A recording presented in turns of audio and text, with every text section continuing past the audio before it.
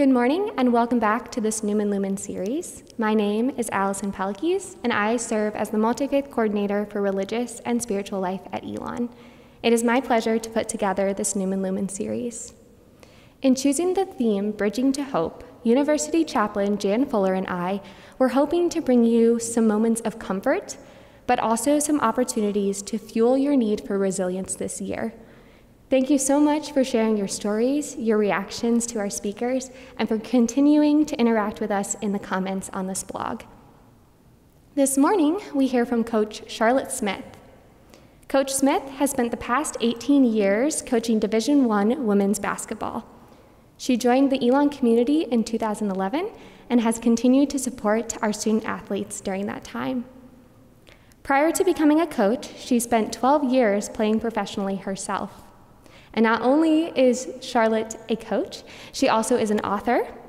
She wrote When Coaches Pray, which is a 40 day devotional written specifically for coaches to help them navigate the life of being a coach. So at this time, Jeff, who is filming, and I are going to leave the space so that Charlotte can remove her mask and speak to you now. So without further ado, here's Charlotte. Good morning again. It's Thankful Thursday, as I like to say, and I'm I'm so grateful for the Truitt Center for this opportunity to share my life experiences that have helped me learn bridging to hope. Hope. Hope is a powerful thing that inspires us to believe and to do the impossible.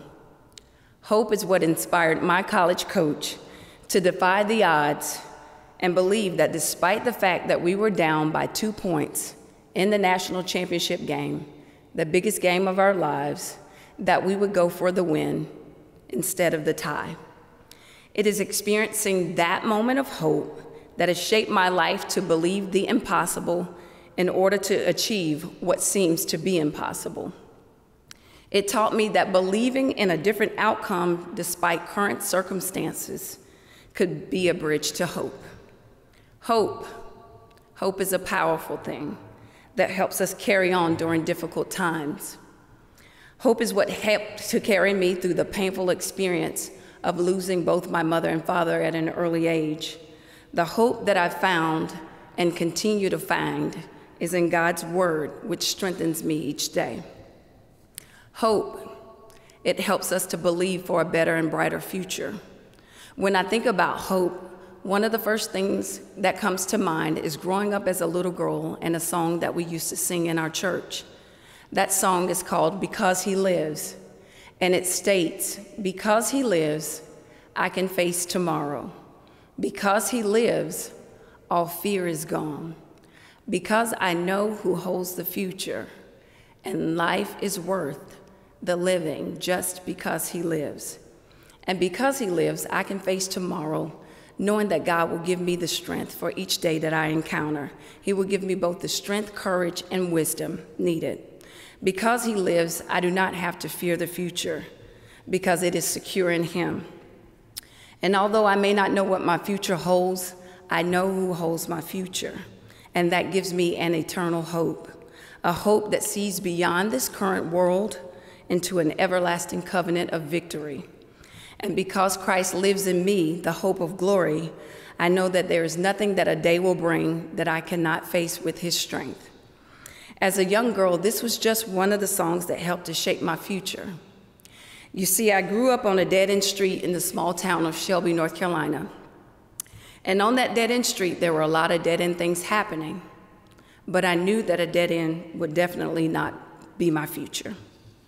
I knew that as Jeremiah 29 and 11 says, I have a future and a hope. And what I've come to realize is that the Word of God is what has always given me hope. It is what has sustained me over the years. The Word of God has always been that bridge to hope for me. It has always been the anchor for my soul, and I have my parents to thank for introducing me to that living hope. It is my parents' legacy of love that inspired me as a little girl to see the best in humanity, to believe that there's more good in the world than there is evil, and to always remain hopeful no matter what I face. My father was a pastor and my mother was a missionary. I watched their love on display for all mankind from all walks of life. There is something so transformative when we can see past the flaws and faults of others to see the best in them. This is something I saw modeled by my parents, which would forever shape my identity. I knew that I wanted to be an agent for change, an agent for good in this world, to inspire and to give hope, to extend compassion and grace every day, knowing that we all fall short of God's glory. In order to continually have hope, I've learned early in life that sometimes you have to look beyond what you see in order to define and shape what you believe. The Bible calls it calling those things that be not as though they were. When Martin Luther King Jr. said, I have a dream, he was looking beyond what he saw into a future of hope where we all could be judged by the content of our character. Our hope in our futures, our hope in humanity will either be strengthened or shaken by what we choose to focus on the most.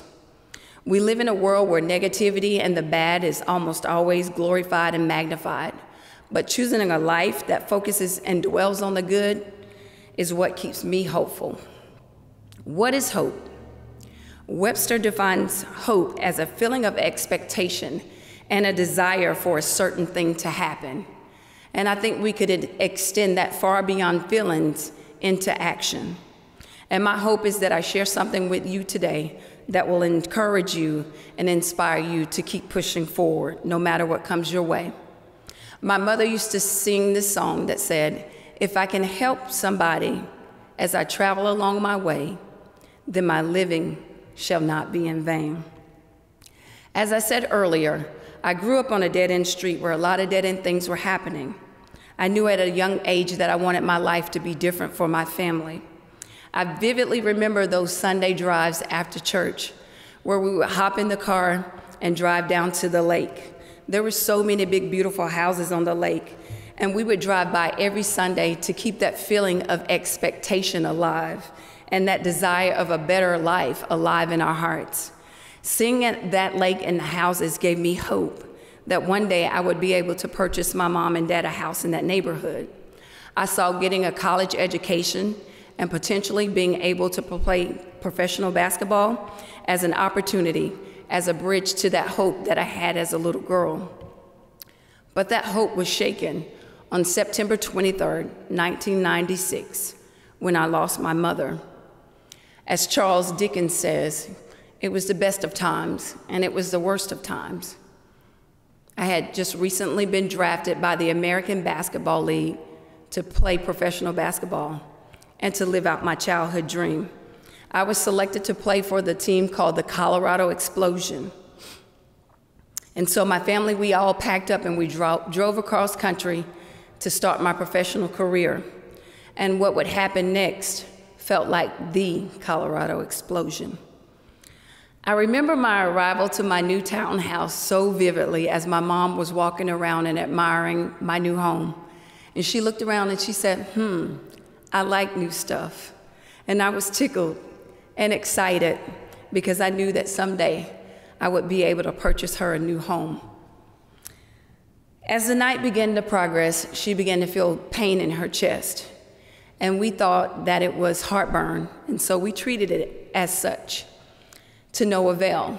And so eventually, she was admitted to the hospital where she succumbed to double pneumonia. The last time I was able to communicate with my mother was while I was sitting at her bed in the, in the hospital where she was connected to all of these tubes. She was highly sedated and resting, and she woke up just long enough to peer down to the edge of her bed to see me crying. And she looked at me and softly said, Don't cry, baby girl. Everything's coming up roses. Those were the last words that she would ever say to me. Don't cry, baby girl. Everything's coming up roses. And I've spent the last 24 years reflecting on her words. And I've come to realize that everything is coming up roses is a statement that is reflective of life because you cannot accept the beauty of the rose without the accompanying thorns. This life will be filled with both good and bad, joy and pain. John 16 33 says, I have told you these things so that in you, that in me you may have hope. In this world you will have trouble, but take heart. I have overcome the world. Yes, everything is coming up roses. And when you think about everything, it encompasses the good, the bad, and the ugly. And they all work together, as Romans 8 and 28 says. And we know that in all things God works for the good of those who love him, who have been called according to his purpose. So, perspective is everything. When I reflect on the statement, everything is coming up roses, I see my mom in the worst condition of her life, in a moment where she could be angry, bitter, complaining, full of disappointment. Yet she chose to remain full of hope and left me with the charge of always remaining hopeful, despite of things I may be going through personally and despite of everything going around going on around me. There is a saying that ships don't sink because of the water around them. Ships sink because of the water that they allow to get in them. So don't let what is happening around you get inside you and weigh you down. And there's so much going on around us right now. So many things, if we allow them to get inside of us, that could completely weigh us down. We must remain steadfast, immovable, steadfast, hopeful, continually seeking to do good, and seeing the good in humanity. It is my mother's words, her last words, everything that is coming up roses that has sustained me during this pandemic because it helps me to put everything in perspective. We can see the glass half full, half empty, or better yet, overflowing. We get to choose. There's a song that says, If I never had a rainy day, I would never know you could brighten my way. If I never had to shed a tear, I would never know that you were always near. If I never had some loneliness, I would never know of your friendliness. If I never fell to the ground, I would never ever know that you could help me rebound. I would never ever know you this way. It is in the difficult moments that we begin to discover more of who we are and more of who God is. We can complain because rose bushes have thorns, or rejoice because thorns have roses. And just like thorns, life has a way of pricking us sometimes and causing us pain. But it is in pain that we realize the power that resides in us to rise up from the ashes of defeat, despair, and disappointment to fly to heights that we've never seen before. The truth of thorn, or the thorn of truth, I should say, is that God gives and He takes away. But what gives me hope is that I know that I shall see my parents again someday. Hope is about leaning on the Word of God for me and knowing that somehow in the midst of mayhem, we will somehow arrive at amen. I found a note that my mother wrote as she loved to scribble and write, and it said, Hope is anything that points to the future. And that's so true. Hope is about seeing a better and brighter tomorrow, pointing us to a future full of expectancy despite of what we see. Hope is about having a dream and holding on to that dream until it manifests itself. Hope is about knowing and believing that God is near to the brokenhearted. Hope is about knowing and believing that God gives beauty for ashes. Hope is about knowing and believing that truly everything is coming up roses.